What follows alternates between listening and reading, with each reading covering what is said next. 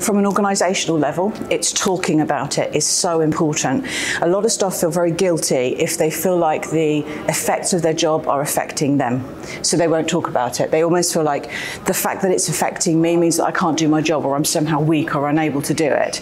And there's still some kind of sort of old fashioned idea within healthcare that you can sort of not get involved. And, but if you find that that's happening to you, then you feel very guilty because you feel like you're, you're not coping with the job that you love so much. So in terms of organisations, keep it on the agenda, keep talking about it, make sure you support staff as much as you possibly can with strategies that they can access. It's no good just putting on things at lunchtime that they can't access because they work 12 hour shifts but you need you need to really keep that conversation going so they don't feel guilty. And then as an individual, it's about building up your emotional reservoir. So with things outside of work as well as inside of work, making sure that you stay connected with your family, that you exercise, that you eat well, that you understand that when you are experiencing some of these symptoms of compassion fatigue, that you do something about it. You are both proactive and reactive. And if you do that, then hopefully you should be able to have enough emotional energy so that you can give some to the patients and their families when they need you,